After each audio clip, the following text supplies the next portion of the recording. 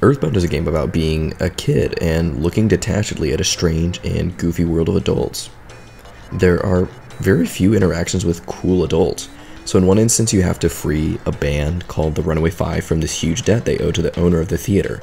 The band owes like $10,000, and the owner's super shady and manipulative and says that he'll make them work forever. So if you pay their debt and then ride with them in their van to the next city, they've already signed an even worse record deal immediately and owe $1 million.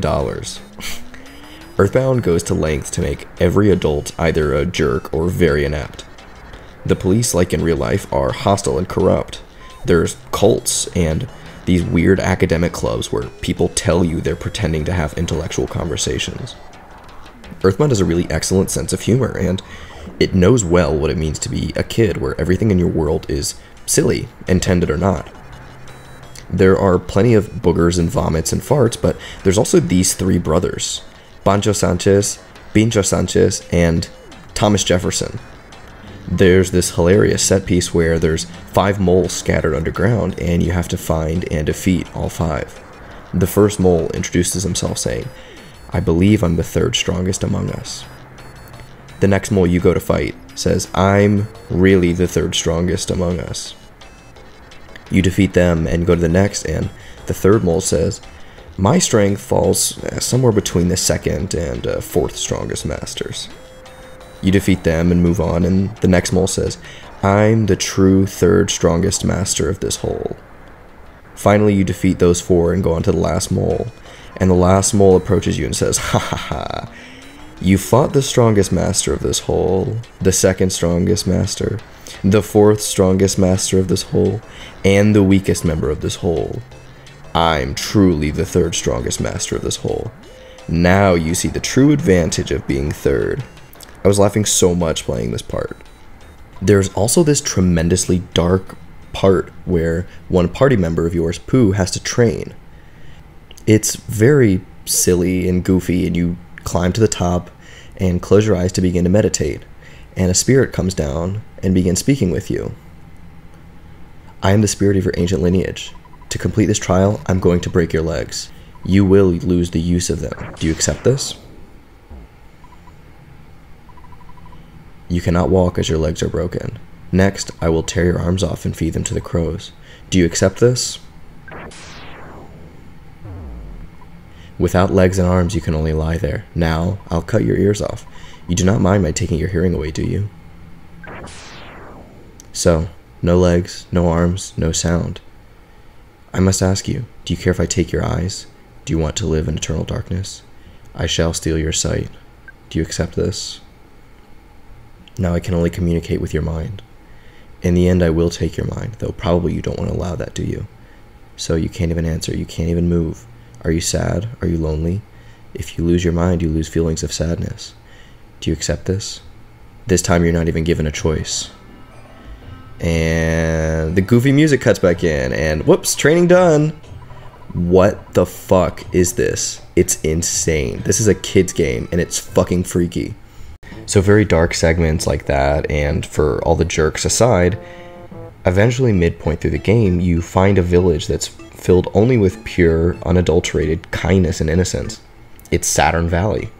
It's inhabited by these little pig aliens, all called Mr. Saturn. The first one you meet says, We feel groove. Hi ho, me, Mr. Saturn. This place, all are Mr. Saturn. I really think there's a lot to be said for them. They speak sparsely and in this silly font, but most things they say are really engaging and stand in diametric opposition to anyone else you meet. The normal shop theme when you go to buy something is called buy something, will ya? In Saturn Valley, if you go to buy something and change your mind and decide not to, the Mr. Saturn in the store says, if you're not gonna buy, hmm, don't buy. Zoom. In most cities, to heal yourself, you take yourself to a hospital or doctor, and they're always really quick to make sure you have enough to cover the fee. Otherwise, you're turned away at the door. It's a very distinctly American environment, and it would be a very funny punchline if it wasn't very real. In Saturn Valley, you're healed by a little doctor in a trash can. He says, I'm Mr. Saturn. Zoom! And I can repair your body. Boing! Do you want me to operate on you? Ding! You all fixed up. Goody. Boing. It's free. They're a little odd, but they tend to you for free and let you sleep on their weird couch for free. It's the only place in the game, really, that you can do that. They say KO instead of OK. They're very silly. If you do fall asleep here, the Mr. Saturn says, KO, healthful and dandy. If you refuse, you are met with absolutely no hostility. They just say, Are you KO? If you alright, that's great. Zoom. The plot of this little town is that a few Mr. Saturns have gone missing. They're being forced to work in a factory by a pile of throw up. That's not a joke. and you free them. One Mr. Saturn says, Once upon a time we were many. Every day slowly are less less. Why? Hmm. Boing. It's actually quite sad because they literally can't envision that any creature would set out to harm them, so they're just sad seeing their friends go missing. To get into the factory, you need to say the secret password by the waterfall, which is actually not a password. You just have to sit silently for three minutes straight. That's their password they came up with. It's so like goofy and hilarious. I love that that's their password. The last Mr. Saturn I have to mention is this one, who says, "We look like same." It seems quite strange because, in fact, you're probably the only ones in the whole town who don't look like every single other character here. But don't forget what the very first Saturn told you when you walked in. We feel groove. We look quite different from them, but we are identical in our infallible ability to be nice and to pay the Runaway Five's debt again and to laugh at these moles. Probably as we get older, we get better at doing things, but worsen in our ability to be kind and laugh at our strange world. And yet, there's nothing stopping us from entering or returning to Saturn Valley. And when we do, we're an ideological identical company. After all, this place, all are Mr. Saturn. Thank you as always for watching.